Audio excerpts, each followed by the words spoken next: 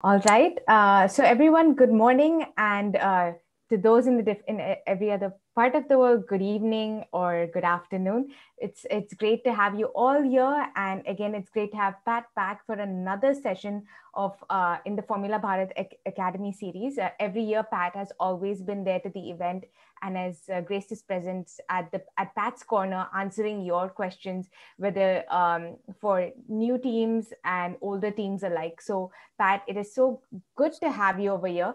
Uh, for those who don't know uh, a little bit about Pat's journey, so Pat actually uh, found out about Formula SAE in 1994 when he was visiting US on business. And um, in 1996, he decided to volunteer and he, he was recruited as a design judge by Carroll Smith at his first event as a judge in 99 in UK. Then they started Formula SAE Australia, Australasia in 2000 and then he was invited to help start FSG in 2006 and then uh, obviously we're here with Formula Bharat and he spends a lot of time in with FS Russia and Formula Bharat as well uh, and also many competitions in the world so this is just not uh, the only ones that he's involved in uh, Pat's retired quite a long time back right now but um, he spends most of his time uh, dedicated towards uh, ensuring that students are equipped with uh, the right basics when they get into Formula Student. Uh, he's very um, determined uh, to, to ensure that people understand the basics of motorsport education uh, and even engineering education and the reasoning, the whys of why you choose to do something in design. so without further ado, um, uh, we would like to introduce Pat to his session on keeping your tires happy. So, Pat, hi and welcome again. Thank you, Kathy. Um, as Kathy pointed out, I've been involved as a judge, as a, a mentor, as an organizer, a, a, foundation person, whatever, for Formula student events all over the world, uh, effectively.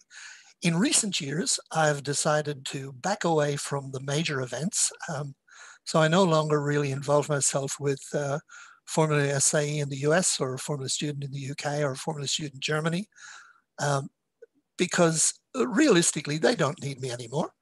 Those events are now uh, mature enough that they can stand on their own two feet. And these days, I'm focusing more on helping the emerging teams and emerging events uh, in countries where, where my help is, is really needed my interest in the event is not so much motorsport. It's more, um, more whoops, let's go back again. It's more uh, to do with um, the educational aspects. Uh, so today, what I'm going to talk about is tires in a basic way. I found one thing that's happened uh, over the years of Formula is that these presentations from various presenters have just got more and more uh, complex and more and more advanced. It means that uh, students at the entry level are being left behind because they just can't talk the talk or, or walk the walk or talk the talk, as they say. So normally, a presentation about tires starts off with a slide like this. Now that's Dr. Hans Pacejka, or the late Dr. Hans Pacejka, a Dutch uh, scientist who apparently worked out all the tricks and tire uh, tricks and foibles of rubber tires, and he's put them all into a magic formula. I don't believe in magic formulas. And it starts off with this complex y equals d times sine and so on and so forth and it gets more complex. We ain't going there, not today. We're not going to talk about that sort of stuff. I'll leave that to other presenters. Today, we're going to talk about the more basic stuff. And also today, we'll talk about some of the enforced uh, choices that teams in places like India have to have to make. And that is the unavailability of the perfect tire. By the way, there is no perfect tire. Okay, so the first decision you're going to make is how do you choose the tire? What's, your, what's, what's the best choice of tire? You know, you're, you're, you're fully aware that the only grip that you have between your car and terra firma, the ground, the track, is the four little contact patches under your tires. It doesn't take uh, Einstein to figure out that obviously the best and stickiest tire is probably going to re result in a, a better performance. Clue number one, that's not necessarily the case, but we'll talk about that later. In order to discover what this tire would be or could be, about a decade or 12 years, years or so ago, a group of um, universities uh, formed what's called the TTC, the Tire Testing Consortium. And they actually have all the Formula Student tires tested uh, at Calspan, which is uh, a, a, tire testing facility in New York State in the US. And they come up with the best tires or the best recommendations. And they tend to align their findings with the teachings and the language of the late Dr. Pacejka. Um, I'm going to be contentious here and say that for an inexperienced team who don't understand what that's all about, like, don't waste your time chasing down whatever is supposedly the best tire from the, from the TTC data. The TTC data is excellent value for money. The team pay $500 US, and for that they get in perpetuity, forever, all of the tire data of all of the tires suitable for Formula Student that have been tested at Calspan. Uh, this includes some very useful data that, you know, uh, more advanced or more experienced young engineers can use in ways other than de designing little race cars. I mean, you know, little race cars are a very small part of what happens in the world today. But I'm going to suggest that you don't necessarily need to be part of the tire testing consortium at this stage. Uh, to let a cat out of the bag,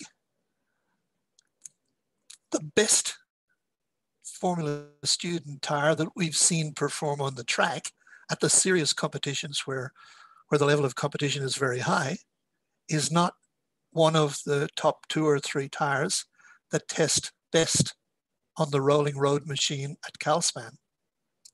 And there are, of course, reasons for that.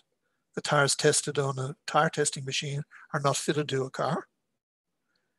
They're not controlled by uh, a reasonably inexperienced driver. Uh, they're not running on a perfect surface that's uh, made of sandpaper. They're running on broken and rough and dusty asphalt and concrete and whatever. So there is in fact a better tire, and I'll get to that later. Um, having said that, that tire may not be available to you in India anyway, so really doesn't matter in the long term of things. Okay. As I said, what's missing in the tire testing consortium is that human interface. And the tire that tests fastest on the test machine may well not be the best or the fastest tire at the event. Okay. Something that uh, we need to take into account here is the human interface. And you will always find that a tire that develops the most grip, either laterally or longitudinally, usually develops that grip over a very narrow band. That means the tire breaks away very easily. It means the tire is not progressive to drive on.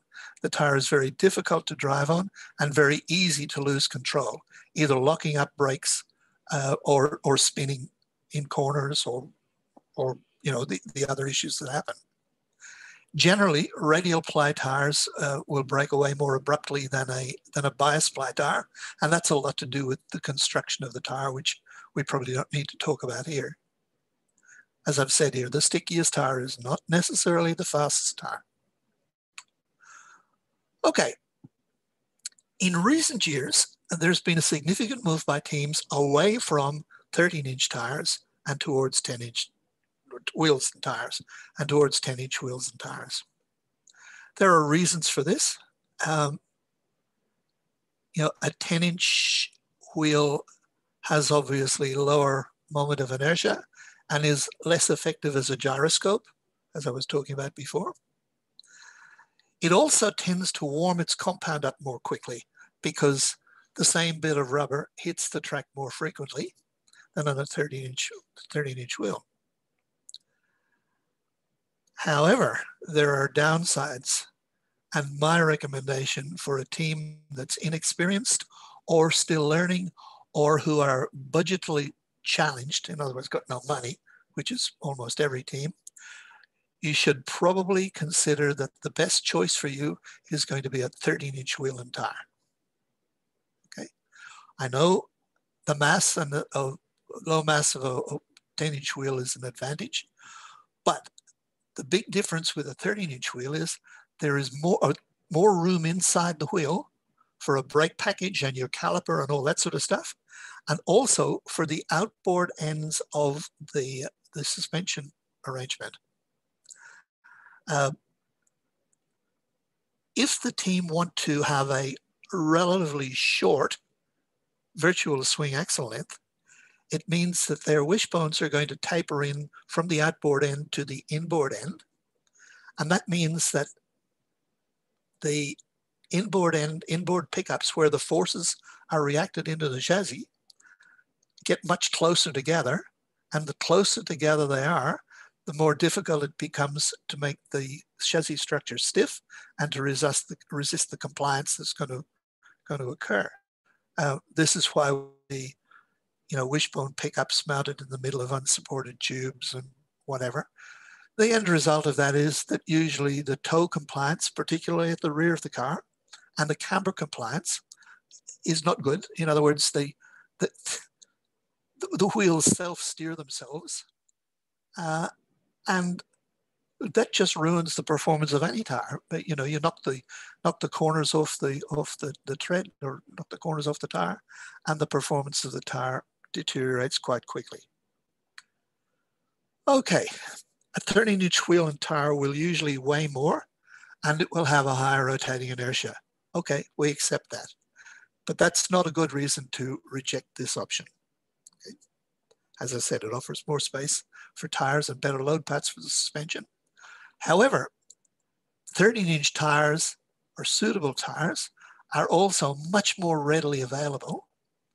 And there is also a, uh, the availability of cheap used tires. Now, I'm not talking about going down to the local wrecker and buying tires off a Tata Nano. What I'm talking about here is finding uh, competitive open wheel racers who run in, you know, Formula BMW or uh, Formula JK or one of the other open wheel formulas that, that run, who run on race tires uh, and they want to run on fresh tires every race meeting. What do they do with the old ones? Well, usually they just sell them off cheap. So if you can find somebody who does that, there's an option for cheap tires in that 13 inch or possibly even 15 inch size. I wouldn't reject a 15 inch wheel either. Okay, moving along a little more.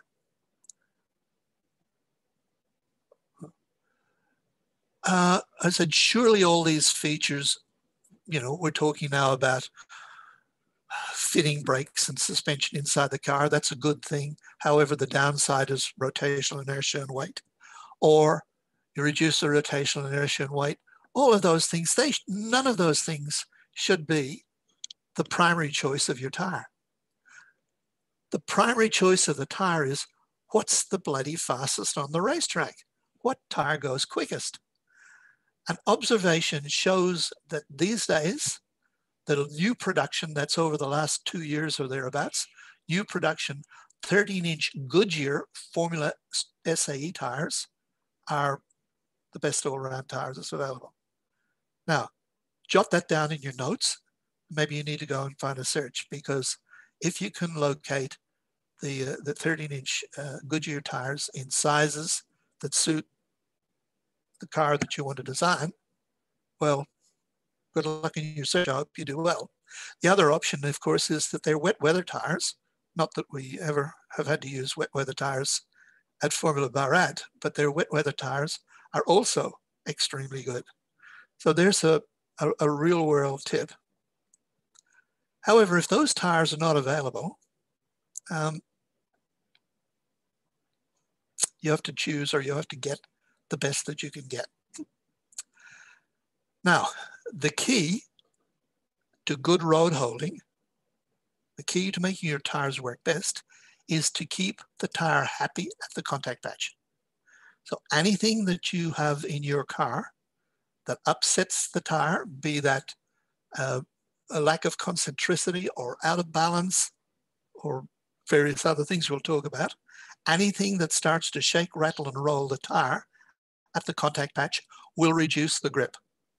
Um, if this was a live uh, presentation, I would show you a little uh, a little uh, demonstration that I make. I take a pencil with a, an eraser on it. I put it on a surface, put my finger on the top and lean it over. Apply a little pressure. So we now have the, the, the moment of my, uh, the force from my hand is being, re, re, is being reacted by the, the, the tire surface. And if I then slap the surface, bang, the tire pops away because the vibration just broke the, the, the grip between that rubber eraser and the surface, the same as a, a vibration or a bump will break the adhesion between your tire and, uh, and, and the road surface. And this is particularly so in the wet because that little bump allows liquid between the tire and the road surface, which lubricates the joint and down goes, away goes the tire. Okay. Before we move on, street wheels and tires. Okay. Sometimes, we see this a lot in India and in some other countries, where the team either cannot find appropriate competition tires or can't afford them. And so they decide or, or they're forced to make a choice to use road tires, tires from a street car. Okay. Okay. You have to accept that um, if you have to make that decision, you all other things being equal, you're never, ever, ever going to beat a car on appropriate tires in the dynamic events. Um, that's a fact of life. You must learn to live with it. Um, street tires are way too heavy. Uh, having a steel belt, steel belted radials, their uh, gyroscopic effect is very, very high. They're designed to uh, last you know, 100,000 kilometers or something on the road, um, holding up a car that probably weighs four or five times as much as your little Formula Bharat car. So they're just an unsuitable tire. The problem then becomes that the tire is so stiff, even in its construction, that it patters on the road. That's generating little shocks that break the adhesion of the tire. So they've got less grip, um, less suitable, higher gyroscopic effect. There's a lot of a lot of uh, reasons why it's it's a sad, although sometimes necessary choice for a team to have to make. I'll just go back one slide. And I've shown that first slide shown on an alloy wheel. Next time you get the opportunity, I want you to pick up a bare alloy wheel from a streetcar and a bare steel wheel from a streetcar. And you will find that the alloy wheel is not lighter. It is far heavier, maybe a bit stiffer, but it's far heavier. So it's also far more expensive. So even for even for teams who are have a budgetary constraint and but who can uh, get some competition type tires, a street wheel is often a very, very suitable solution rather than uh, forking out for expensive forged type forged magnesium wheels suitable for racing.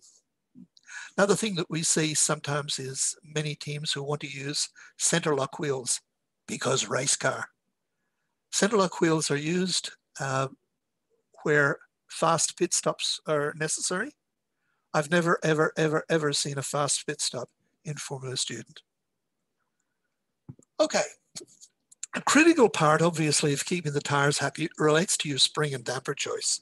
The spring and damper's job is to moderate those bumps and, and thumps that actually make the uh, make the wheel jump away, lose traction. And we'll get back to that in due course because there are some clever little tricks around that you can use to make inexpensive dampers, dampers that might just come off a off a street bike, a little street bike in uh, in India, actually make them work much better than their uh, than their design. Not not so much because the, the damper works better, but because you actually use it better. But I'll get back to that. We'll get to that in due course. Okay. The first thing to consider in keeping the tire happy is to ensure that the hub, the wheel, and the tire run true. By that means I want no axial or radial run out. The tire has to spin concentrically. And sometimes that may even mean that the tire needs to be skimmed. It's uh, not uncommon with, with race cars, so Formula Fords and things like that, that the wheels and tires are actually set up in a modified wheel balance machine that's used as a lathe. And they actually skim the tire to make sure that the tire is, the tire tread, the part that runs on the road, is actually concentric with the, with the, the stub. This means, of course, too, excuse me, my seat's a bit uncomfortable. Um, it also means, of course, that uh, the wheel has to be centered, needs to be some sort of spigot to center the wheel. Do not use the wheel studs or the wheel bolts to center your wheel. That's not a suitable way of doing it. The wheel will run out, and when it runs out, it will run it. The other thing, of course, that makes it run out is unbalance. Get the wheels balanced. It doesn't cost very much, but get the wheels balanced because uh, not only will the car be more pleasant to drive, but the wheels and tires work better. The other thing before we leave here is if you are forced to choose street tires, don't buy old tires from a uh, from from a from a junkyard. Uh, you know, kick the can and organize sponsorship or or whatever to find four brand new tires to put on the road because once you start using a tire, every time the tire is used, it gets warm when it gets warm, it heat cycles. When it heat cycles, it just hardens up a little bit. It has less grip the next time. And if a tire is old and had many heat cycles through it, it's going to be as hard as concrete and it's just not going to offer you any grip really at all. Okay, I've also said here that wheel attachment to the chassis must be free of unwanted compliance. Now, a place where we see compliance where the wheels attached to the chassis is in compliant uprights. So in other words, when a cornering force or steering force is applied to the front wheel or the rear wheel, that the upright actually uh, flexes or, or deforms and allows the car to to take on, you know, unwanted camber or unwanted toe figures. Also we see compliance at the other end of the suspension uh, attachments, like wishbone connections to the chassis where we have uh, wishbone tubes attached to the chassis in the middle of an unsupported tube, not at a node, uh, so that the chassis can flex, or or they're bolted into a clevis that clevis can flex. Need the car needs to be the, the, this needs to be in that particular area needs to be extremely stiff. Um, and a lot of that stiffness doesn't come from making things big and heavy and strong and ugly and, you know, using uh, big girders to make the car stiff. Some clever design can actually means that when you have a look at when where the forces are applied, you can actually make a stiff structure that's very light. People who make airplanes are extremely good at this. So let's have a look, and I'll, I'll start at the back of the car because it's probably a little bit easier because we can talk about it easily in two dimensions. When we talk about the front of the car, we have to introduce steering. So I'll leave that till later. Okay. So before the chassis or the suspension uprights can be designed, the suspension general layout must be determined. Okay, so you need to, to, to settle on your wheels, you choose your wheels, uh, design your uprights so that they fit wherever they want them to fit, and then you work out your geometry. And then the inboard points of that geometry tells you where the nodes in your chassis must be. If you've already built the chassis and now you have to adapt this uh, suspension to the chassis, and that means that the uh, the suspension clevises pickup points have to go in a, in a less than appropriate position on the chassis. Well, you're starting off behind the eight ball, and not only will this affect you in the dynamic events, let me tell you, the design judges are not going to be very impressed either. Design judges hate this stuff, including me. Okay, moving along a little bit. So I've said the rear suspension. So you've got the chassis and you've got, you know, the chassis is just a generic block over there. That's not the final, that's not the final chassis. That's just a pretend chassis. But we do have a model of our wheel out here. And this is where the elimination of particularly toe compliance and camber compliance at the rear of the car starts right here. Okay, the first thing you have to determine is where the center of pressure is. Okay, the center of pressure obviously in a you know tire that's going to be cambered negatively, in other words tilted in at the top, is going to be inboard of the center of the tire tread. So all of those calculations that you've seen in many quite respected books that show uh, things like measuring scrub radius from the center of the tire, they're incorrect. That's not where the force is applied. The force is applied from the center of pressure. And so all those calculations should be made from the center of pressure.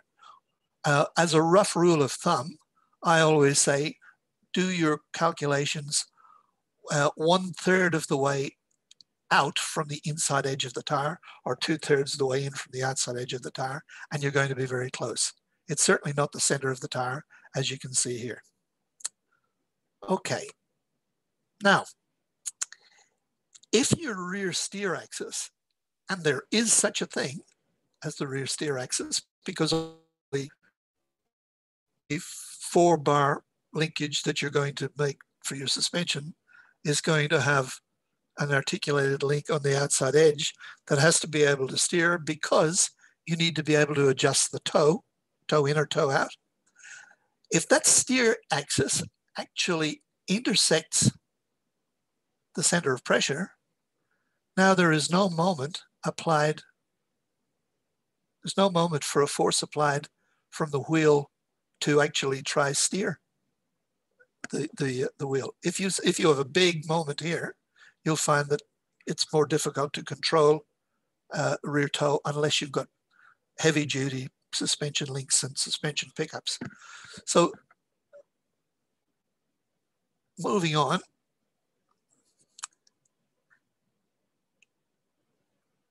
starting with the lower transverse link, that's your lower wishbone. Try to make this as long as practical and parallel with the ground in the normal loaded position. Now, the reason for this is to reduce scrub at the contact patch as the wheel moves vertically. You don't want your wheel moving in and out as the wheel putters over little bumps. You want to try keep it traveling as close to vertical as possible to stop upsetting the tire at the contact patch. No trick there. Okay. Then set your virtual swing axle length at about two or three track widths. That's not, not that important. There has been a, a hang on, my leg stuck. That's been, there's been a, a, tendency in recent years to go to very short swing axle lengths. And in fact, we've actually seen cars with, with swing axle geometry the so-called Lancaster links.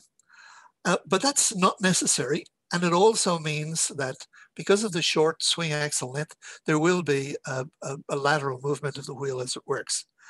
Uh, a swing axle length of about two to three track widths will give you the camber change that you need to keep your tire in its happy camber window uh, over the 50 millimeters or thereabouts of suspension travel that you're going to have on your uh, on your on your rear suspension. The rules require that you have a minimum of 50 millimeters. There's no reason to have any more than that. And uh, you certainly don't need 90 millimeters or 100 millimeters or various things that we've seen. Um, the way, the simplest way to uh, re restrict the, the, the, minimum is to put a, uh, a bump rubber on the damper shaft to stop the damper traveling too far. Okay, moving on a little bit more. You can change the amount of camber gain, in other words, how much camber in the position of the inner pivot of the upper link. By making it shorter, you will get more camber change. By making it longer, you will get less camber change. So in your suspension kinematic design, you can figure out what it is you want and uh, get the camber change that you need without having to go to a, a very short virtual swing length. One thing you will notice here is I've made absolutely no comment about roll centers or roll axes. Uh, and that's deliberate uh, because in essence, if you make your lower control arm horizontal to the ground, automatically your roll center is going to find itself somewhere in about the appropriate position. And to be quite honest, it's really not that important. Um, it's a little bit like uh, the late Dr. Pacejka's tire magic. Uh, roll centers, I'm sorry, but roll centers are a bit black magic too. Okay, moving on. As I said, you can determine where the roll center is, but don't fuss over it because the reason you shouldn't fuss over it is because any movement of anything causes the roll centers to shift. All you have to do is move the steering wheel five degrees left or right, and the roll axis in the car moves. So, uh, you know, the roll centers and the roll axis, as determined by you with a static car at the design stage, means absolutely nothing when the tire is when the car is, is driving. More important to look after your tire here at the contact patch. This is where it all happens. That's where you've got to baby your tires. Okay. You're going to need at the rear of the car either some parallel links or a toe control link in order to, to prevent toe of the rear at the rear of the car. Now, that can be at the top or the bottom of the upright. Uh, usually, if you put it at the bottom of the upright, it makes it a little bit more difficult to make a stiff upright, but it makes it easier uh, load path for your push rods or your uh, or your um, uh, direct acting dampers or, or, whatever the case may be, whatever it is you're doing. If you mount it the other way, with, in other words, with the uh, with the parallel links at the top, uh, that usually results in a stiffer upright, uh, but the uh, makes it a bit more difficult to uh, to adopt to, to use your suspension system. a picture here of how the real guys do it. This is a, a Dallara IndyCar, top wishbone, toe control link. And the bottom wishbone you can't really see, but it's, it's down there. It's just a wishbone that picks up in the middle. So you can see this dimension here, critically important. You make that dimension as wide as possible. That's the toe base. And that's something that every design judge will look at because we know that a good wide and stiff toe base makes usually for the makings of a good handling car narrow little toe bases mean that the, the car can bump and roll steer, compliant steer, and so that car will be will be difficult to drive accurately and uh, and slow. Hello. Sorry, that was by oh. accident, Pat. Please continue. Yeah, no, no, that's okay. Okay, um, we're now talking about the rear suspension, uh, and we're going to now add the drive shafts. Um, drive shafts with hook joints, that's the ordinary standard universal joints, generate vibrations. And as we've agreed, vibrations upset the tire contact patch. So you're better off with some form of constant velocity joint. You also should organize or should arrange that the drive shafts should be in a parallel to the ground uh, layout with the car in the normal loaded condition. In other words, that there is no forces being fed round corners in the drive shafts under most normal conditions. Okay. Uh, what this will do, of course, is this will set the position of the final drive in the chassis. So this tells you where your differential is going to have to be because that's going to be mounted up and down here somewhere. One thing you might gather from this is that you can't really design the chassis until you've got all this other stuff sorted out. So the chassis, the, a major mistake we see by, by uh, inexperienced teams is that they design the chassis first and then they have to try patching stuff on to make it fit.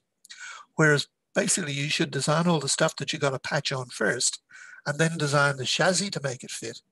Because after all, the chassis is really only, excuse me, it's really only a complicated bracket that holds everything in the car together. And you cannot design a, an effective bracket unless you know what you actually want to bracket together. So all of this suspension stuff and geometry stuff, all that sh should come first before your final chassis design. You can have a general layout of how you want to lay out the chassis, but where the tubes actually lie, where the nodes actually are, all of that should come after you've designed where you want the forces to be applied to that chassis. Okay, you can see now there's a complication, and that is that the drive shafts are going to pass through a different arc than your wheels. That means that the drive shafts want to change length as the suspension operates. And if you don't allow for that, here's another source of vibration and harshness and all those other things. So the best solution here, and it's very easy solution, is instead of using hook joints like universal joints, use tripods. And tripods are readily available on any little four-wheel, uh, sorry, front-wheel drive car on the market.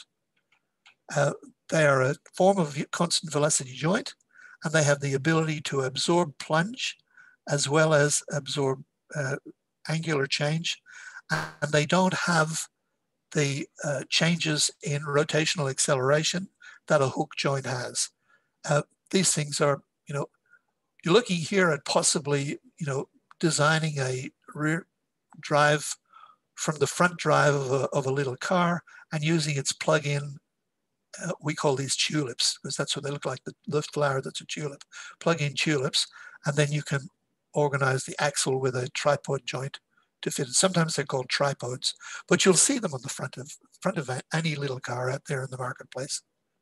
Have been for 10 years or more. Okay, as I said, you should avoid using cardan joints or hook joints.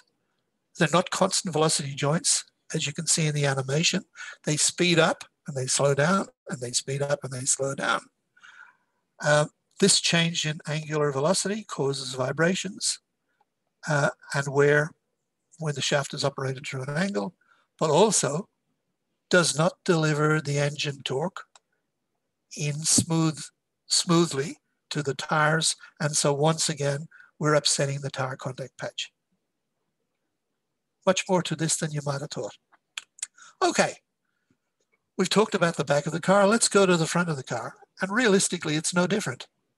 We're going to draw the front suspension, uh, you know, with the with the lower uh, lower control arm as long as practical and parallel with the ground for exactly the same reason as we did at the back. That is, in order to change to reduce as much as possible the amount of lateral scrub of the tire as the suspension works. Okay. Draw a line from there and from the center of your contact patch. Remember the contact patch, not the center of the tire. Out. In this case, your virtual swing axle length should be just a little longer than the rear. You don't need quite as much camber change on the front. I'll come to that in a minute. So about three track widths is about the right number there. You can then draw it back to your top suspension. Now, unlike at the rear of the car where we didn't want any scrub radius, at the front of the car, yes we do. We want to have scrub radius from the center of the contact patch to where the uh, steer axis intersects the ground. We need a small amount of, of um, uh, movement, uh, radius there. And the reason for that is primarily to give the driver some feedback. If you have all of the moment taken away, the driver has no feel. So you need to actually give the driver a little bit of work to do as he drives the car. Um, if the team have chosen to run a spool drive, that's to say a solid rear axle, not a differential in the back of the car, they actually should have a little bit more scrub radius because now they're actually going to use the scrub along with uh, some weight jacking that happens from the caster, I'll come back to it later, to actually make the car uh, weight shift to allow the spool to, to work. That's a whole other subject, an important one, but it's a whole other subject. The reason why we don't need quite so much camber change on the front of the car is because the caster angle that we've got in the car will cause the loaded, that's the outside front wheel, to go into a, the amount of negative camber just from steering. So you get a little bit of help from the caster that you didn't have at the back. So you don't need as much kinematic uh, camber change at the front as you did at the back because the caster helps you. Um, hence, hence uh, I said two and a half times uh, the uh, track width at the back and about three times the track width at the front. Once again, of course, you can change the uh, change the um, amount of camber change you get by changing the position of the inner uh, ball ball joint on the on the top suspension link, the top top wishbone, whatever you wish to call it. Okay, that looks complicated, doesn't it? That's because it is. The additional complication when designing the front suspension is to ensure that the steering geometry is compatible. In other words, you want the steering linkage to pass through a complementary arc to the suspension linkage. Otherwise, you get a phenomenon which is called roll steer or bump steer. That is to say, as the suspension works or the car rolls, the steering operates. Now, in small amounts, it's not such a huge deal. The reason I say it's not such a huge deal is because there is a correction device. It's called the steering wheel and the driver's attached to it. So the driver can actually correct small changes in in steering angle by tweaking the steering wheel a little bit. However, it's not a good thing. Um, one thing that makes it particularly not a good thing is if you have toe out or toe in as the car bumps or droops. So in other words, if the if the driver stands on the brakes and the wheels splay out away from each other as the suspension works because of the bump steer, that's going to murder your tires. It's going to murder the inside edge of the tires because the toe out means the car will, yeah, anyway. Okay. Now, in order to avoid upsetting the tire contact patch, I have avoided where possible complex motions like anti-dive or anti-squat geometry.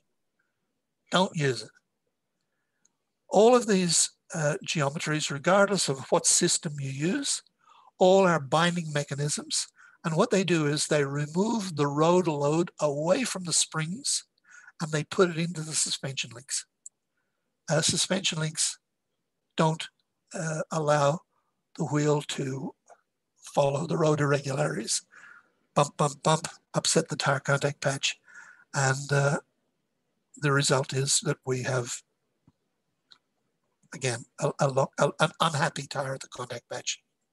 There is another way, and that is to use third elements, like a, in other words, a bump spring, additional bump spring, or an anti-squat spring at the back of the car, uh, so that you introduce a third spring. So the spring handles the bumps in bump or in, or in, or in drive. I'll cover that a little later. There, I've got some examples later in the in the presentation to show you. But anti-dive, anti-squat all sounds like it's more of that bloody black magic. You know, put it over there in the pile with, you know, roll centers and Pacejka, whatever. There's lots of you know, other things that you may hear while I'm on the subject of black magic. When somebody tells you the trick is, what they're doing is they don't know. If if they know it's not a trick. So when somebody says, oh, the trick is don't allow the roll center to pass through the ground plane or some other bullshit, uh, ignore it. That's not important. That's, again, more stuff to put over there in the pile. Okay. Now I'm going to talk about looking after the tires when they're not on the car, and this is every bit as important. Very first thing is when you've driven the car and the tires are hot and you come into the pits, immediately pick the car up off the ground and put it on stands. If you don't have stands, make some. Uh, if you leave the car to sit on the ground on hot tires, they will develop flat spots and it's going to take you know, maybe four or five laps until the tires come up to temperature again to get those flat spots out. Flat spots make the tires go bumpity bumpity bump, and tires going bumpity bumpity bump are not happy tires. Second thing you should do is immediately deflate the tires. So the car comes in off the track, pick it up, put it on stands, and let the tires down. Why? Because the expansion of the air inside the tires cools the tires and takes away any heat, which reduces the effect of heat cycling the tire. Remove the valves, you have the refrigeration effect. Now, when the tire is cool, you take a rasp, uh, like a, a rough file, and remove any dead rubber or pickup from the tire. Get rid of that. So smooth it down so the tire is, is ready to go. Um, when, you, um, when you're ready to go racing again, you inflate your tires and you're all ready to go on effectively almost new tires. Okay. Don't allow the car to sit on the tires. Uh, that's I'm talking now about taking it back to the back to your garage or sitting in your school, and you just leave the car sitting on its tires. Uh, put it on stands, or or if you're going to leave it sit on wheels and tires, just use some old junk wheels and tires that that you don't care about, not your good race tires. Okay. It is best to lightly scrub the tires in before you use them in competition. So if you've spent a lot of money and you've bought some expensive tires, particularly, you want to take them on the track and do half a dozen laps or so at a medium pace. Don't skid on them, don't slide them, don't abuse them. You then come in, pick the car up, take uh, deflate the tires, clean them up. Well, they won't need cleaning, but uh, take the wheels and tires off and allow them to rest for at least 24 hours. Um, you know, you'll see, you know, if you're watching formula stuff for uh, motorsport, you know, the real racers, they want to go out on sticker tires because they go fast. And that's true. The fastest lap that a tire will ever do is the first lap out of the pits on sticker tires. However, that's abuse of the tire, and you've actually sucked out an enormous amount of the life of that tire in an effort to gain you know, a tenth of a second or something because you're trying to beat Lewis Hamilton to pole position on the grid. Uh, where your tire will now suffer is down the road. Uh, it won't have the life. Its performance will fall off quicker. That first vicious heat cycle will knock the tires around. Okay, looking after tires, storing the tires. When you're back at the ranch and you put your tires, like you, you store your tires, you keep them away from light, especially fluorescent light, fluoro lights. The UV content in fluoro lights will damage the tire compound. It's not rubber. It will damage the tire compound and harden it. So I recommend that you seal them in black garbage bags, you know, the ones that go in the bin, just put them in there, maybe suck the air out, tie a knot in them, and store them somewhere cool and safe. Now, you need to keep them away from ozone generators because ozone will also attack the tire.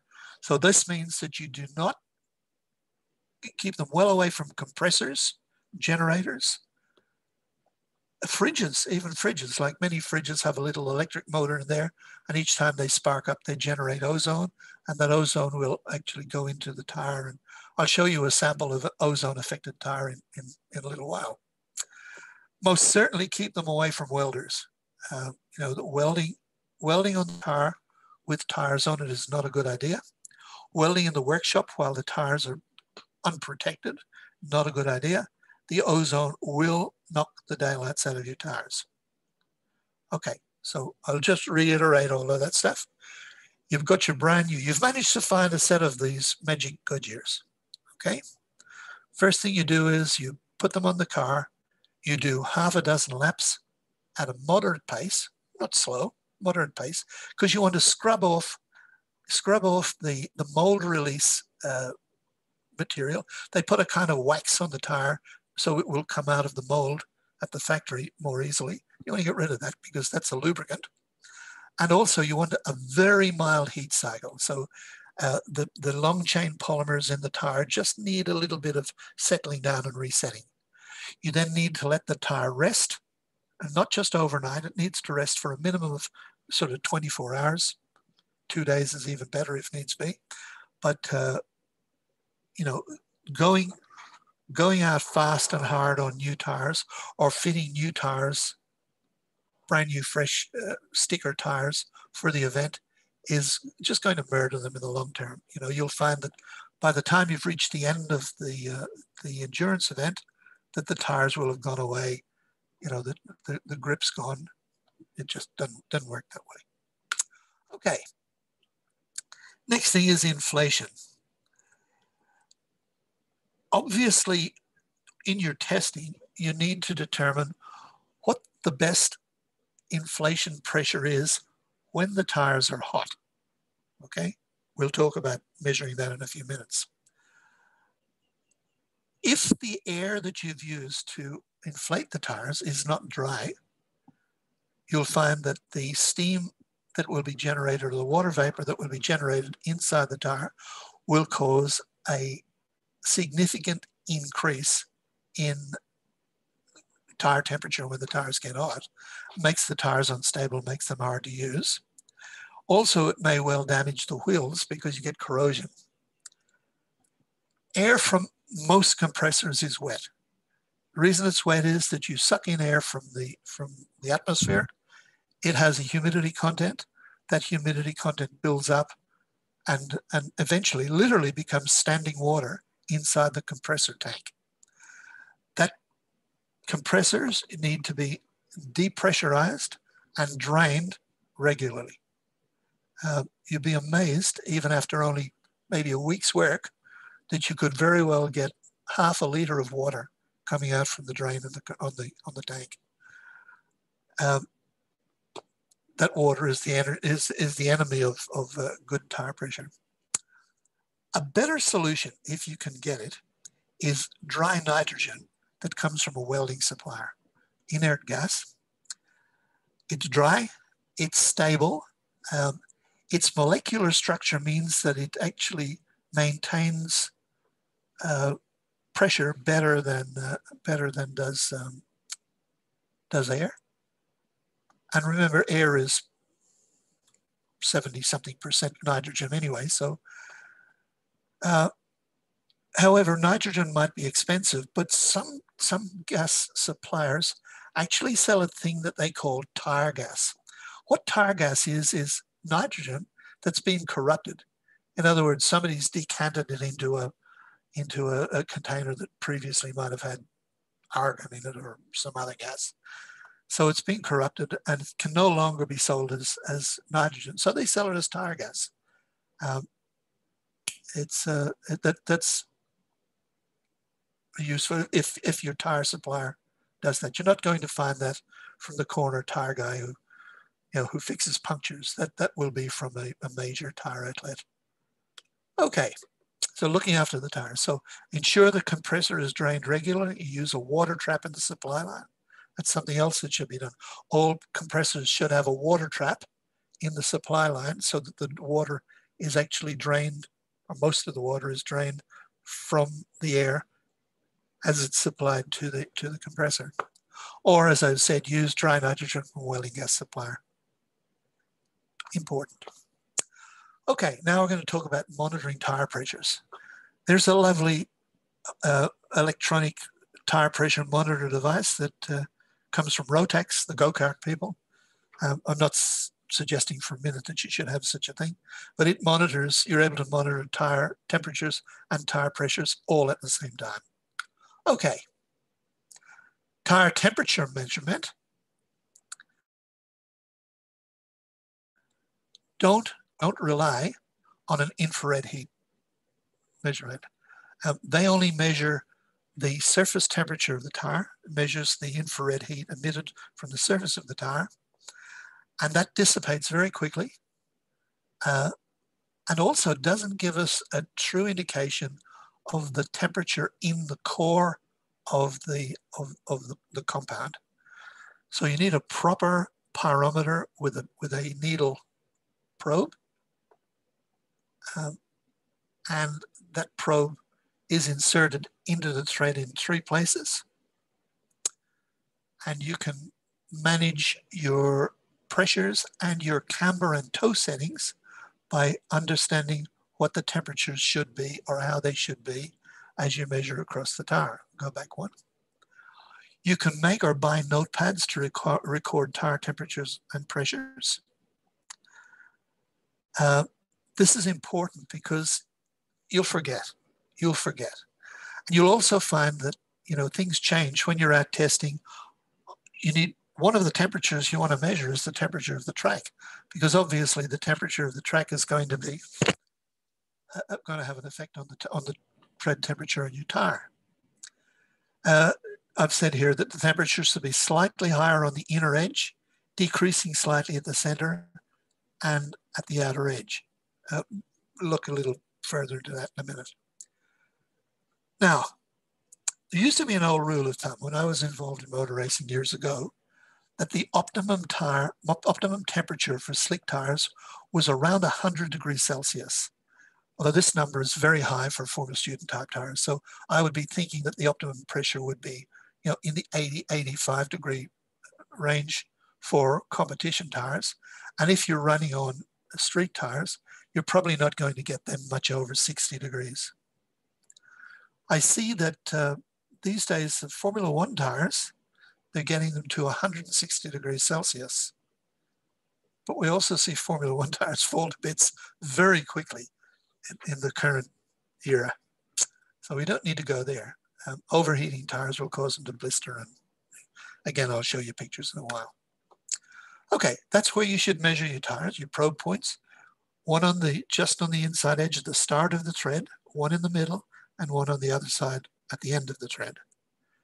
Insert the probe at an angle into a depth of about one or two millimeters into the thread, but be careful you don't puncture the tire. It's very easy to push that. Remember the rubber is going to be soft when it's hot. Very easy to push that probe at the wrong angle straight into the tire and oops, end up with a puncture. Okay, um, you can determine overinflation if the middle of the tire reads too high, it's too hot. Um, you know, if this this sensor here, this measurement here is high, um, or if it's too low, if they're outside, yeah, you, you you'll you'll work it out. The other thing is you've got to do this fairly quickly because the, the tire temperatures dissipate away very quickly and uh, you need to measure, measure them pretty quickly. Okay. Let's talk about tire wear.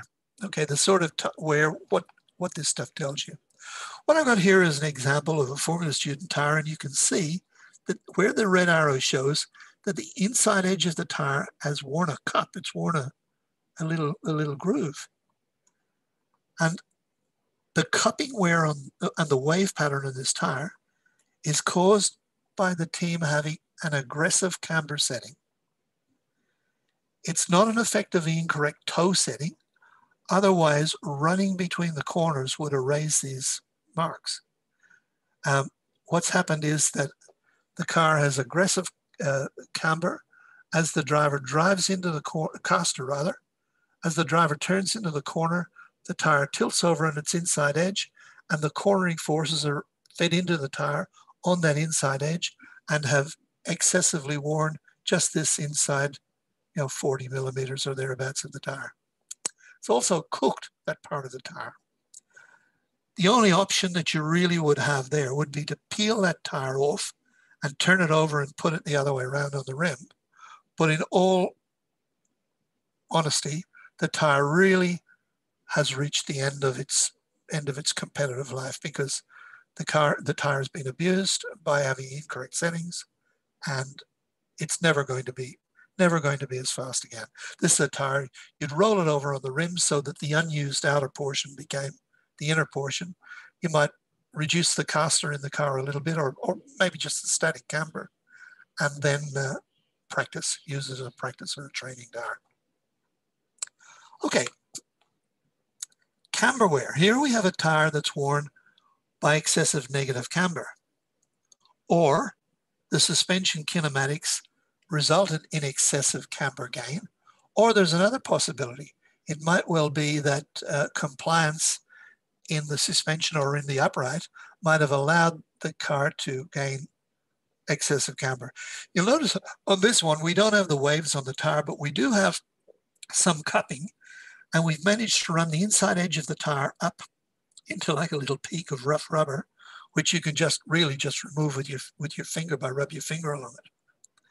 Again, this tire is in not quite, but very nearly the same condition as the last tire we saw.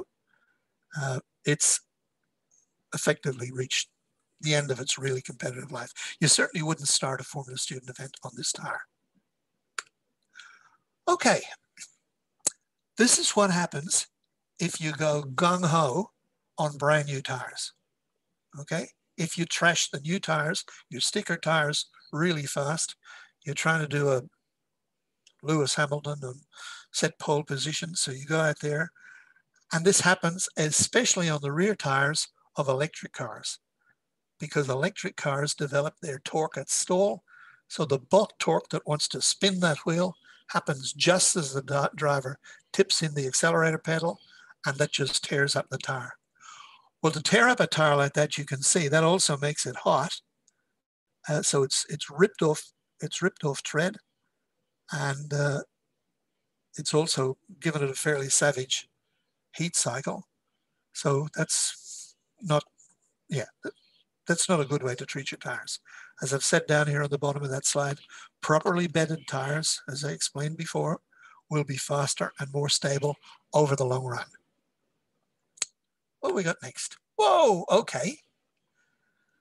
This sort of graining of tires when the tire is overloaded in shear, especially before the tire is fully warmed up. And it usually happens because the tire chosen is too soft for the, for the application. Um, not going to see too much of that in India, I don't think, but we certainly do see it in some places where teams will get hold from a from a, a, a tire company. They'll get hold of some wet weather, soft wet weather tires that have not been grooved because many of those wet tires are actually grooved manually. So they get so the tire is still slick. The rubber is made of gumbo rubber, and then they take it out on a hot track and proceed to give it give it the berries, as they say, give it what up. The tire is not fully warmed up, and they're literally starting to tear the tire apart.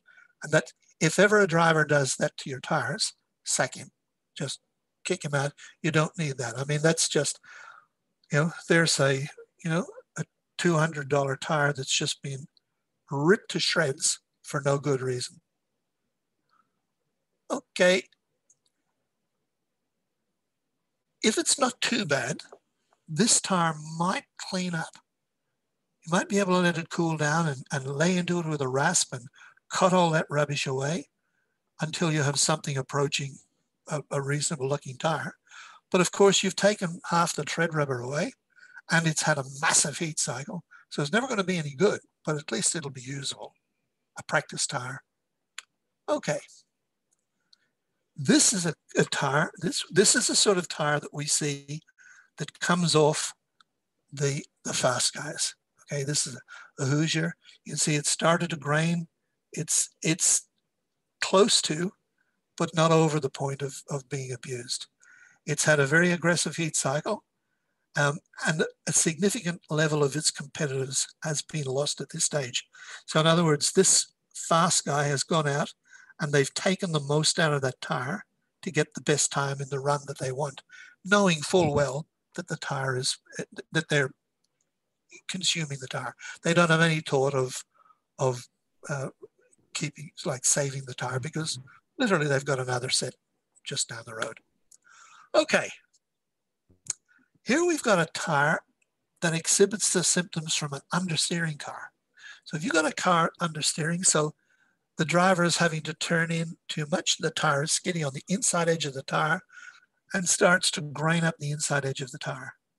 Understeer is slow and consumes tires.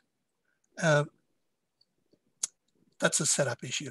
You know, you need to work on that, and that comes from uh, testing and, and experience.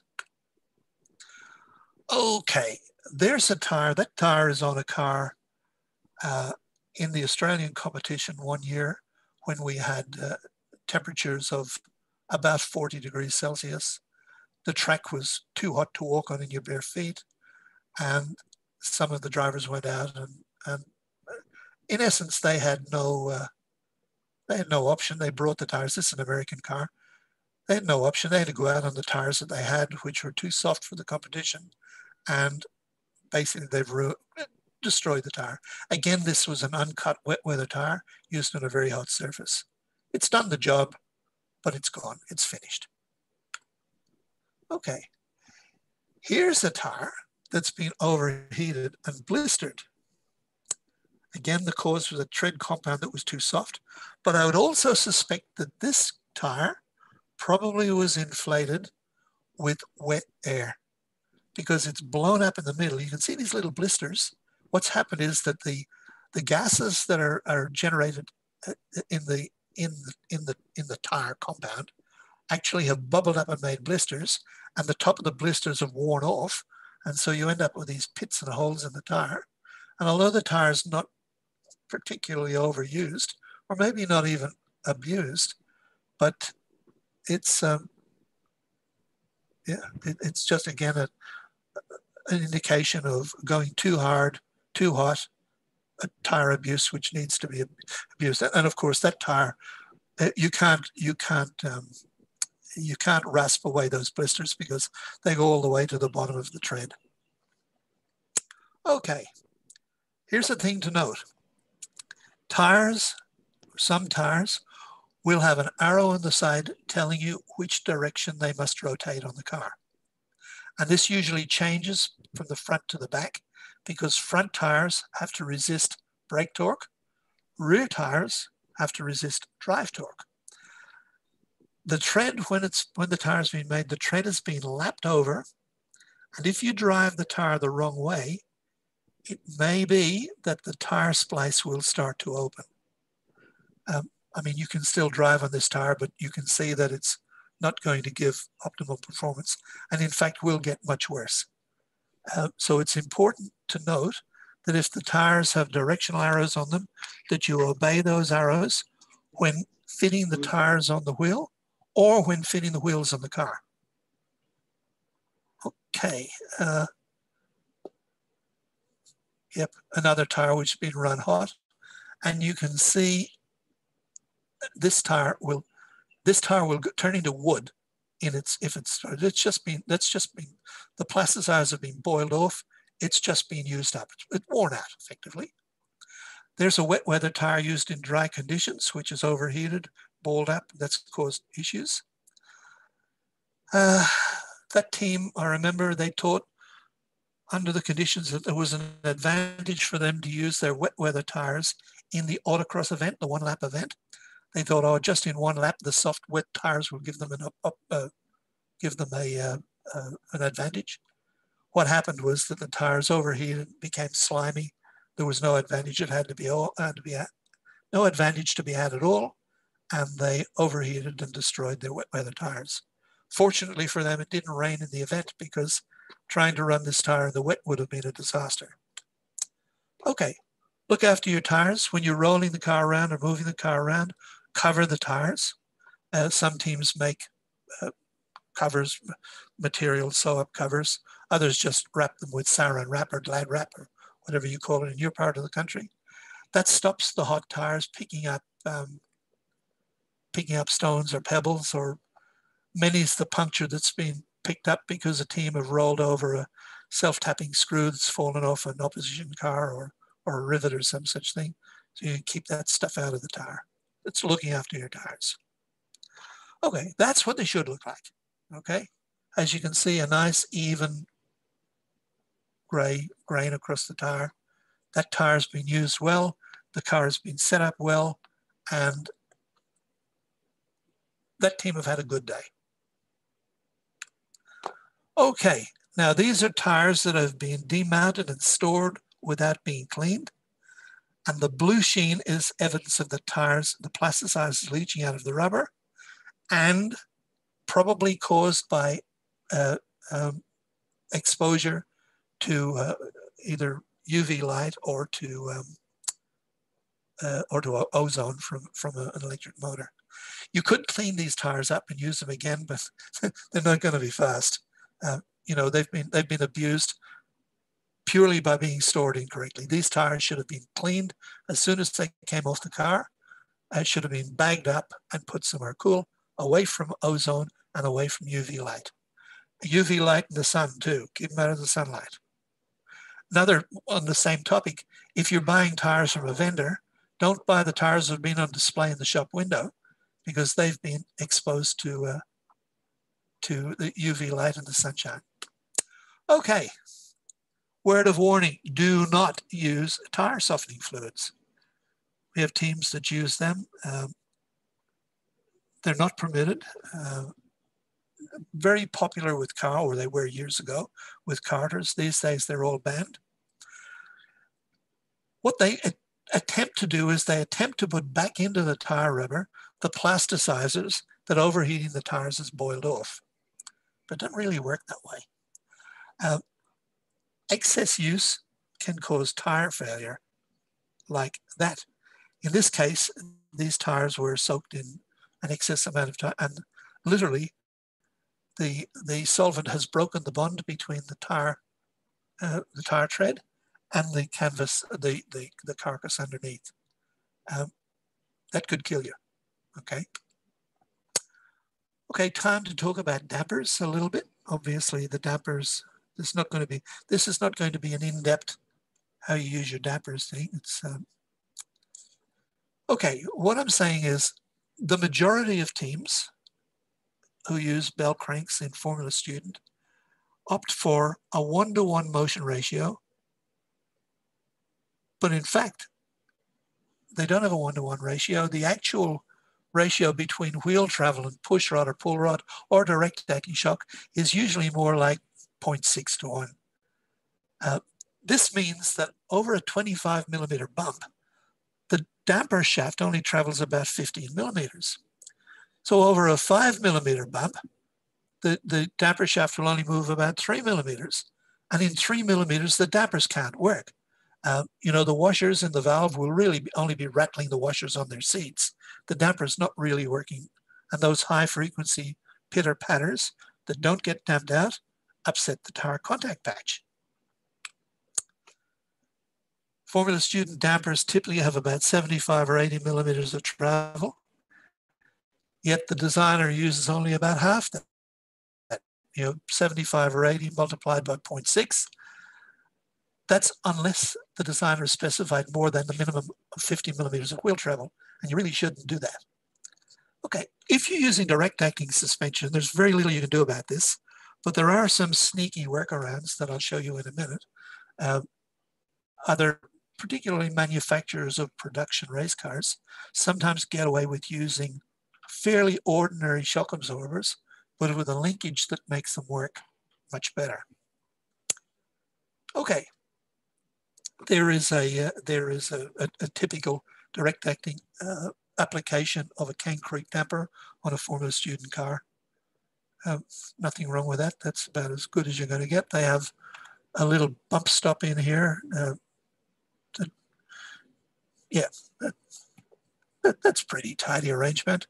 However, it's not going to make optimum use of the damper, but at least they're using very good quality dampers. Back in the 60s and 70s, when direct acting suspension was how you did it, dampers were fairly crude. The popular Koni dampers at the time could only be adjusted by removing from the car, stripping them down and adjusting them on the workbench what you did was you stripped them down, you pushed the shaft all the way to the bottom, and the bottom of the shaft engaged with a valve in the bottom of the damper, and you could click back or forth and find the setting that you wanted. You could not change bump and, and rebound individually. What you had is what you had. What happened in most cases was people went all the way one direction, all the way in the other direction, back to the middle, and left them like that and, and just made do with the damping performance that they had. And that was state of the art in the 60s and 70s. That's, that's what we did. Okay, in the 70s, motocross riders in particular discovered the advantages of long travel suspension. You could go faster over the big whoop-de-doos and big jumps and tabletops and all that if you could get a lot of travel because that travel gave you better traction to drive because it kept the wheel on the ground.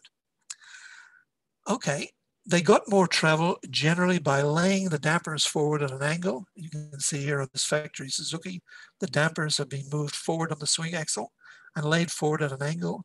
And so these dampers are not being used. These dampers probably had uh, about six inches of shaft travel and the wheel probably had uh, probably 12 inches. You know, so 150 millimeters of shaft travel in the damper for 300 millimeters of wheel travel on the bike. Okay. This had the same detrimental effect as we're dealing with the direct acting shocks and whatever on your car. Okay, we've talked about that. Now, this forced the development of new damper systems and the Öhlins brand emerged from these as being the best and most respected maker of dampers, and they still are to this day. And in fact, the Cane Creek Formula Student dampers are in fact Öhlins dampers. All bikers came up with a mechanical solution to make it work, but at the time, in the early 70s, the best was Suzuki's full floater system. This was a clever system where they compressed the damper from both ends. So in other words, it uh, if they had uh, 100 millimeters of travel at the wheel, they got 50 millimeters of travel on one end of the damper and 50 millimeters of travel on the other end of the damper. So they had 100 millimeters of damper travel, which meant that the valves had plenty of ability to operate properly. You could have progressive damping rates, made it much better. Only problem was somebody had a patent on the full floater system. Suzuki were sued and they had to pay that man millions because they had to pay a royalty for every motorcycle they sold with that system. And they had to cease and desist and not do it anymore. So that system is gone. But in essence, how it worked was here, oops, I get my cursor working. Here is the swing axle and it's pivoted at this end.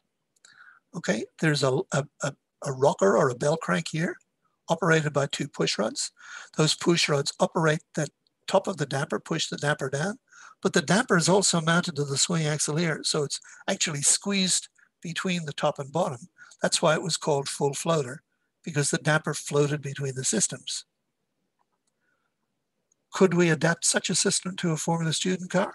Of course we could. Um, we'll give you some examples in a minute.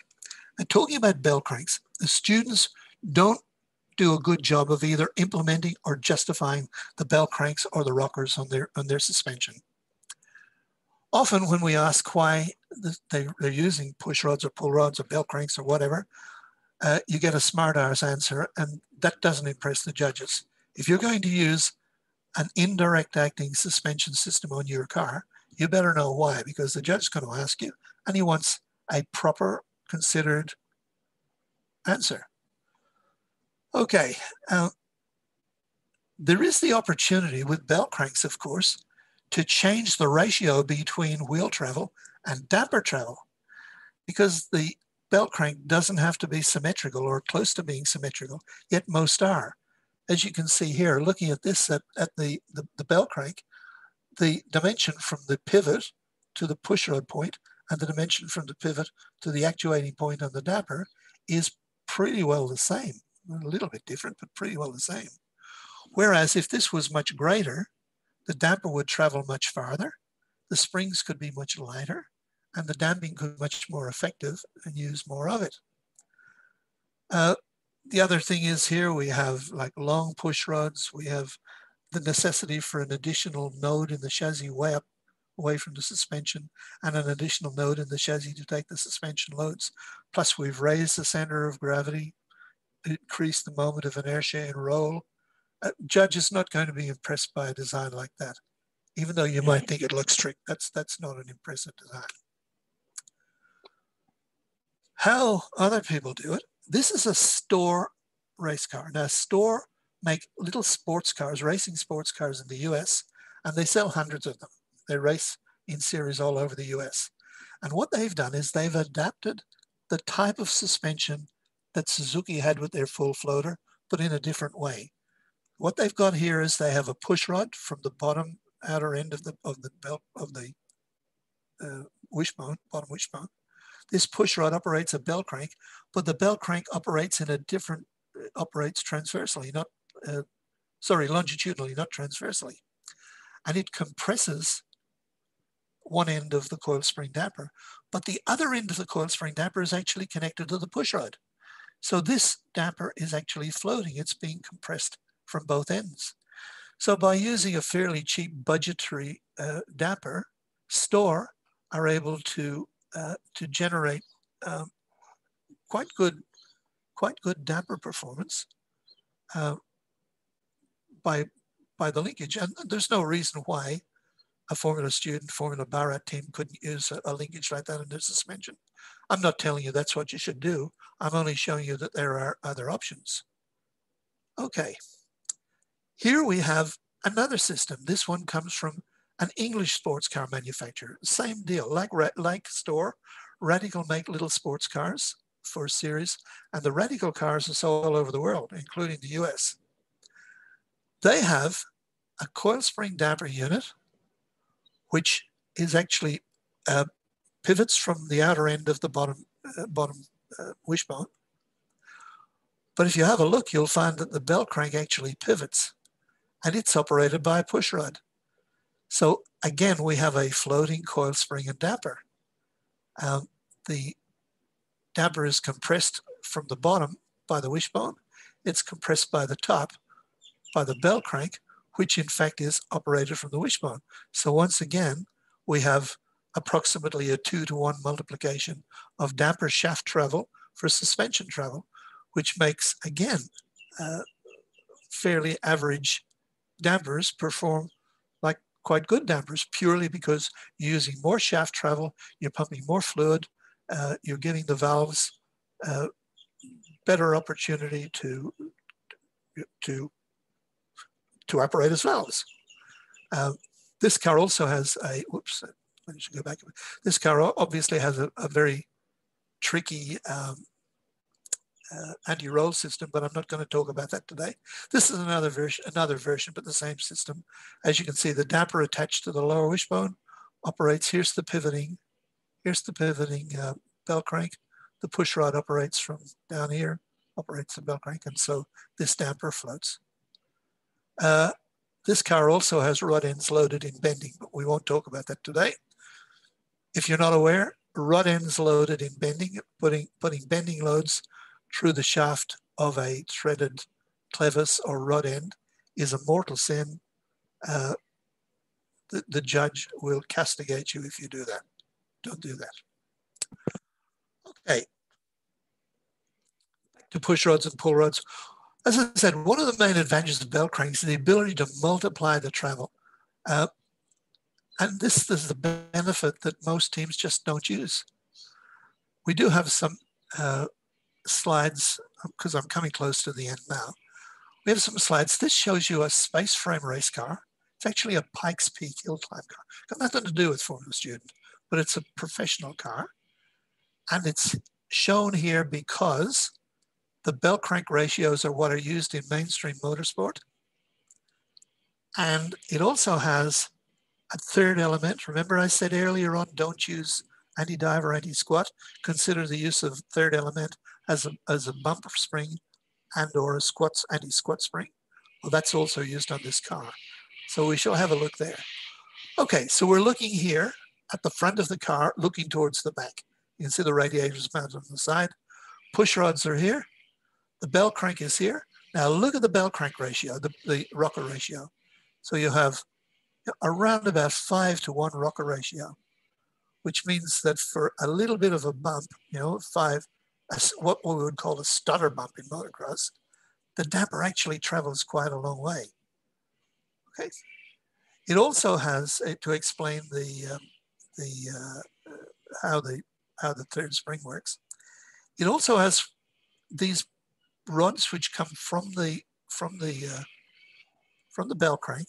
They operate this T piece. This is a pivot here. They operate this T piece, and this T piece is mounted to a vertical torsion bar which is the anti-roll bar. So as the car rolls, this push rod would be pushed forward, that one would be pulled back, that twists this bar, which resists roll. However, this bar is pivoted horizontally at the bottom, which means that as the both suspension, like in bump or droop, this can move back or forth. So when the driver stands on the brakes, as the suspension compresses on both sides, it pulls both of the rods backwards, which compresses this spring and damper, which resist the car diving in roll. And the back of the car is the same. It has a, an anti-squat that resists. So here's our, now this one's probably got even more aggressive uh, bell crank ratios. Look like about six to one. Uh, so a very small bump moves the damper a long way. And here's the pull rods or push rods, whatever they, they call them, to again a T, T-type anti-roll bar, which is pivoted at the bottom. That's on a, on a, a it's a Pikes Peak hill climb car, but the lessons are still there. They're, you know, Google is, a, is your friend. You go looking for pictures and don't just look at pictures of, um, of Formula Student and Formula SAE cars because that just breeds monkey see, monkey do. Oh, everybody else does it, so we got to do it too. No, there are lots of lessons to be learned out there. Okay, this is a West sports car from the US. And once again, you can see here's the push rod, here's the bell crank ratio, massive uh, uh, uh aggressive uh, bell crank ratio to adjust the springs. In this case, here's the T-bar and your roll bar. Here's the push rod that operates it. And this, in fact, is the spring. It's not really a spring. It's a, a stack of Belleville spring washers being used as spring, but it's in essence the same system. Okay, 87 slides is enough for this presentation. And what I've tried to show you this afternoon is there are many aspects to keeping your tires happy. Happy tires make for a fast car. It's easy to set up, easy to drive, and hopefully one that can collect you a trophy or two. But happy you know, long, long train trip for many teams and they can party all the way home. Okay, thank you very much. Kathy, I'll give it all back Great. to you. Thank you for the session, Pat. Uh, participants, we're now going to open the Q&A session. Hello there, Advait. What can I do for you? Uh, hello, sir. Uh, in the introductions and the starting of the presentation, you spoke about the advantages and disadvantages of the 10 inch and 13 inch tires. We are currently yes. operating on a 10 inch tire and seeing the advantages that you have shown to us. How can we proceed to a 13 inch tire and how, uh, what all design and geometric changes might be there we have to consider for that? Um, well, well, clearly you can't just put 13 inch wheels on the on the current car. Um, so it it's uh, remember we talked about how the design works and and essentially you start from the wheel and you work in. The, the actual geometry as far as camber gain and, and those sort of things won't be any different. It'll, it'll be the same for 13 inch and 10 inch wheels. Uh, that's nothing, uh, you know, it's just I, I don't see I don't see any different apart from the ability to be able to get like a longer or heavier duty brake and upright assembly to sink your out, outboard um, outboard suspension pickup points into the wheel easier so that you can reduce scrub, particularly at the back, to reduce it to nil if you can. Uh, but as far as the actual uh, kinematics, uh, realistically, there's no real difference. And I would assume that you're going to have some uh, adjustability in your car. So you would build the car to the best of your ability and then you would adjust like crazy when you get to testing. But I just, I'd like to hear from you uh, what you thought of my justification for using 13 inch wheels. Uh, based on what you have said, uh, what we uh, understood is that it's better to use a 13 inch uh, wheel as it gives more room to work on the insides that is the knuckle design and the caliper base. Yep. And and and that sounds to me like having you having built a car with 10 inch wheels you know exactly what i'm talking about. Yes sir. Yeah. it becomes sometimes very difficult to work on the inside Yes. What um, what tires are you currently using? Uh, currently, sir, we are using uh, Avon R10 Sleeks. Yeah. Okay. Yeah, that's that's a good tire. Thank you very much, sir. Okay, and thank you for your question. Thank you, Adway. Okay, Rituja. Yes. Hi, sir. Good afternoon. Good afternoon, Rituja. So my question is, what's the best place to do tire modeling? Which software should we should prefer to do tire modeling? Um, go over to that uh, pile of uh, stuff that we put in the corner, which was roll centers and Pacejka, and then dig out Pacejka. Look, no, in all seriousness, if you want to do tire modeling, um, and you know, tire modeling is very much a black art. Um, the very first thing I would suggest to you is that you um, uh, subscribe to um, to Claude's Optimum Tire software, and uh, and have your team join the tire testing consortium so that you can get some uh, some um, so you can get some data that you can actually start to crunch to make make some sense of it. But uh, as far as uh, honestly, I don't have any particular interest, nor am I a, a, an expert of any description on tire modeling or the mathematics of, of making tires work, because bluntly, I don't really believe in it. So it's a bit hard to uh, it's a bit hard to convince me to study tire modeling if if my heart's not in it. But uh, but if that's your area of interest, as I said, Claude, who is another contributor to uh, another helper, one of our friends here at, uh, at Formula Bharat. Um, his company, Optimum G, have a, a, a software package called, uh, called Optimum Tire, and that would be as good a place as any for you to start. Um, you'll find Optimum G uh, on Google optimum, optimum, the word optimum, and the letter G, optimum G, one word. Google that and uh, find um, find Claude, Claude's optimum K, uh, optimum tire software. Okay. Yeah, sure. Actually, we were thinking about MATLAB. Yeah, um, I'm not a MATLAB expert either, but uh, uh, yeah, and, and you're out of my area of expertise. Let me let me surrender on that one. I give up. but thanks for the question anyway. Thank you, Rituja. Uh, ah, we so maybe it's a silly one question, but as you suggest, it's a floating damper will be a best option or it's a good option besides the normal push rod suspension but I seems like it will add some weight, adding more four push rods. Can you comment something on that? So, so you uh, are you suggesting that that will add uh, additional unsprung weight in your in your suspension yeah, package? same. Is that yeah? Um, yeah, it, it, it will. It will. Um, however, it won't add anything like the amount of unsprung weight that a, that a street tire will add. But uh, I don't think unsprung mass or, or the, the ratio of unsprung mass to sprung mass is nearly as important as we used to think that it was. I think it's another one of those furphies that's been un, unproven comprehensively it, with the with the four-wheel drive electric cars that we're now seeing that they're the fastest things in Formula Student anywhere in the world and they have wheel mounted motors that make the, the unsprung, unsprung mass to sprung mass ratio in those cars is almost one to one. And they handle well and they go fast. So I don't know that it's quite as important as we used to think it was.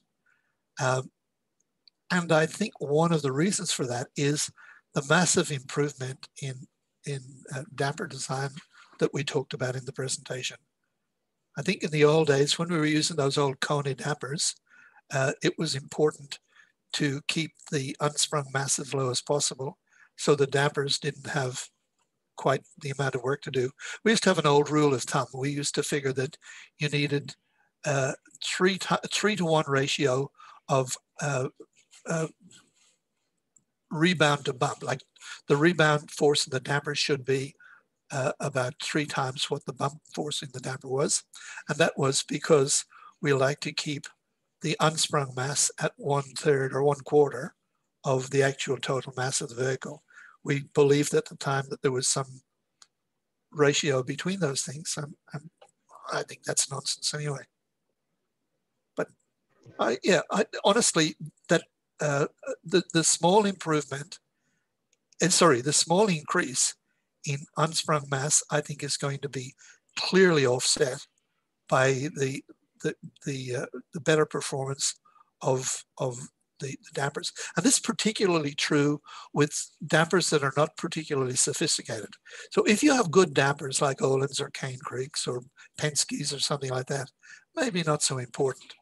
But if you're having to deal like the rest of us with, you know, dampers which are maybe not optimum, maybe came off the back of a Baja motorcycle or something, uh, this is a good way to make them work much better than they used to, or than, than you could expect them to do. Okay?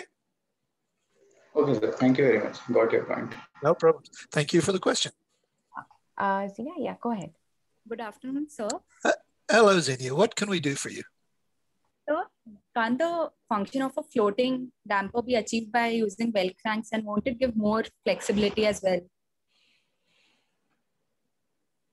Can you rephrase that question? I'm not quite sure. We're talking about bell cranks and dampers and yeah. Because the damper, like it'll give double the travel of floating damper, whereas yes, the yes. bell crank can well, function and it will have greater adjustability. Yes, Yes, with um, I mean, if you if you have uh, a floating damper, obviously you have to have a bell crank to make that work, um, and and of course you can have adjustability by having different geometries of the of the uh, of the, uh, the, the damper, um, and you can adjust the ride height simply by uh, adjusting the, the length of the push or changing the length of the push rod. Um, so, it, but but it's a it's a design that probably two thing two two levels of warning I'll make. One is uh, it needs to be carefully designed from the beginning. It's not really something that you're going to add on to to a, a car that already exists or or a design that already exists. And the other thing that I'd say is be very careful of the load paths because you don't want to introduce additional compliance into the structure because really in that area, all compliance is going to do is to ensure that uh, you have uh, undamped springing because the, the, the compliance becomes a spring in your system. Uh, the other thing that you need to be very careful about is to make sure that you have all this uh, stuff actually in plane. So you're not trying to, forces don't like to go around corners. Um, you know, forces like to travel in straight lines. So you need to keep your, your force directions in plane and not try to send them around corners without them being a draw. I mean, obviously you have to send it around a corner to through the bell crank, but I'm I'm uh, I'm talking about sending them around corners without them being supported uh, where they change direction. Does that help you? Yes, sir. Yeah. Obviously, it's it's a a subject which has got you thinking, and primarily, that's the reason why I make these little talks. I don't come on here to tell you to do anything.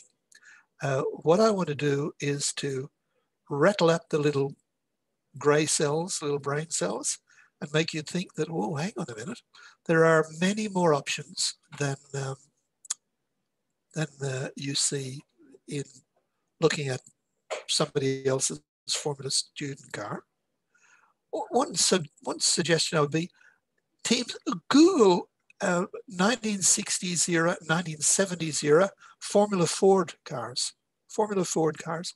They're simple space frame cars with suspension like we use. Um, and that was highly, highly competitive uh, for, uh, form of motorsport, which still still goes on to this day. And there are some very clever solutions in all of that. Um, one thing that you will see in uh, in those cars, and something we never see in a Formula Student car, is rocking beam suspensions. That's where the upper wishbone itself becomes the bell crank, and uh, you know that's that's another option where you can you can do clever things where you can uh, get more damper travel, more suspension travel per wheel travel, than just using a direct acting suspension. There are you know, lots of other options out there. What did, uh, uh, yeah, you know, those who don't learn the lessons from history will repeat them. That's true. That's, Mr. That's true for Mr. anything. That's true for war as well. Uh, we do have one question from Prathamesh. Uh, can we take that before we end today? Of, uh, of course we can, Prathamesh. Prathamesh, please go dinner's not dinner's not ready quite yet. yes. Okay. Thank you for your question, Prathamesh. Go ahead. Hello, sir. Am I audible? Hello. Pardon? Oh, yeah, I can hear you. Okay, sir. So as you said recently, the we give much importance to the roll center, but it is actually not that important for the car. So ah. either uh, yes, sir. So are there any other things that are given much important importance theoretically, but not? Uh, look, there are a lot of so-called experts out there who want to baffle you with bull dust. And they use things like, you know, um, there, there is a, a, retired Formula One designer who lives in Australia, whose name escapes me at the moment, but he talks about these people, he calls them the old druids. Now, you might not be aware of the word druid, but a druid in the old pagan religion days before time began they were the, the mystics or, or the high priests who baffled everybody with, with, with bull dust and black magic. Um, you know, roll centers have an importance. The roll center is a good place to start the design of your suspension kinematics. You've got to start somewhere. So accepting that you're going to have a, a, a roll center. But today I showed you a way to start designing your suspension kinematics without any mention of, of the roll center at all. The roll center just happened. If you make your bottom suspension links parallel with the ground, horizontal, the roll center will always come above ground and will lie somewhere between the ground and the the uh, the, the lay of the the suspension. And I've just had a message come up that said my battery's running low because my my uh, computer's not plugged in. So uh, yeah, I, I think I think maybe the the point for me to finish on is to say, just be careful of what you're told by anybody. Question it. Ask the question. The best question you can ever ask is why. Roll center is important. Why? Um, you know, if you think for a minute, the roll centers wrap around and move around all over the place. Uh, so why are they important? They're not. Okay. Question answered? Thank you. Thank you for checking in us with, uh, checking in with us uh, from Mount Riverview. It was a real pleasure yes. having you. And to all our participants in today, thank you for joining us. We really appreciate your participation. Uh, and and Pat, uh, we enjoy having Pat with us every single time, both at the on-site competition and over here. So um, so uh, without further ado, thank you everyone, and uh, we will end today's session.